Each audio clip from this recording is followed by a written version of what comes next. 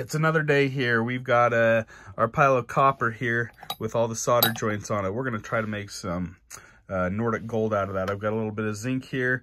We're going to do a 90% copper, 5% zinc, 5% aluminum um, uh, mixture on it today. So we've got about two and a half pounds of copper. Um, this also has a solder on it, so that's going to go into our zinc calculations as well. Um, once again, I can't get an exact calculation on it, so I've just cut the zinc in about half. Um, for this amount, we got two ounces of zinc and two ounces of aluminum, and I'm going to add a little bit uh, extra aluminum because this does have a little extra copper in it, so it doesn't have that full amount um, of aluminum weight. But anyways, we've got our number six crucible. We're going to melt that down. Um, and then uh, we're going to make some Nordic gold. Tell me before, uh, have you ever made Nordic gold? Um, do you have a calculation that you like best? Um, and uh, we're also going to cast some stuff, hopefully, uh, with uh, this Nordic gold as well. So, um, and in the end, we'll make some nice, pretty blocks. So, uh, follow along and don't forget to smash that thumbs up button. And if you like what you're seeing, don't forget to hit the subscribe as well. Here we go.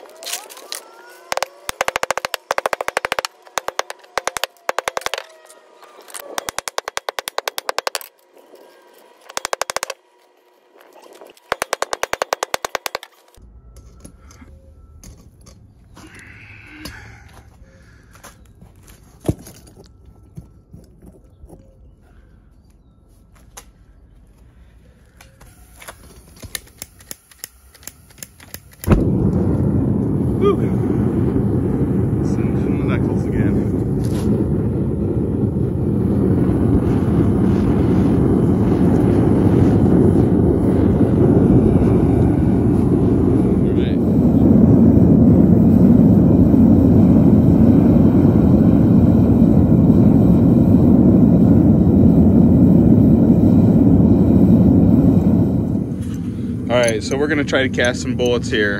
Got a 223 65 Creedmoor. Uh, this is 762 by 54 Mosin Nagant, and then a 30-06 military uh, full metal jacket.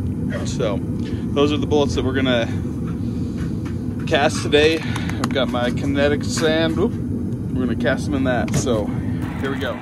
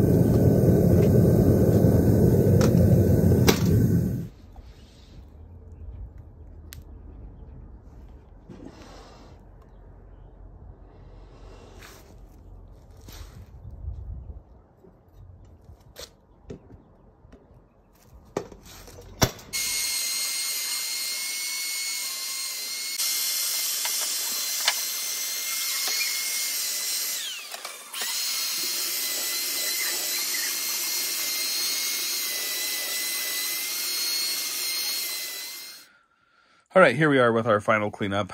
These bars turned out phenomenal. Pretty gold color. So polished up really nice with the wire brush. Um, once again, uh, this is 90% copper, 5% zinc, and 5% aluminum. Uh, give it a nice, pretty gold color. And it's really dense. It's not brittle at all. Even the smaller piece, it's really thin.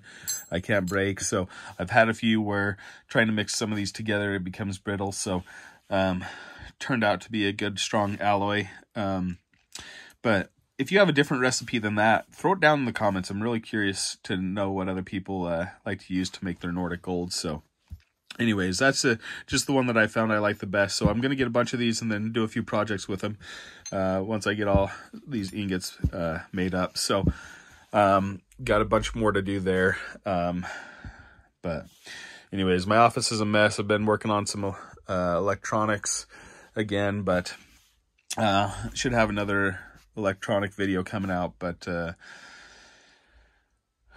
grateful for everyone who has uh, followed along so far and has subscribed to my channel um, or, and, and to what we do. We we love doing this, and it's it's just a lot of fun. So and seeing this pretty uh, um, bullion when you're done is amazing. So um, if you don't mind, uh, if you're not a subscriber and you like what you've seen, uh, smash that uh, like button and also the subscribe button. There should be one down in the corner there or over on this side. I don't remember which one, but uh, also I'll put a, a, a thing at the end of the video to, to do that, to be able to subscribe. But we're grateful for everyone who has. Uh, I hope you all have a, a blessed week and uh, God bless and we'll see you next week.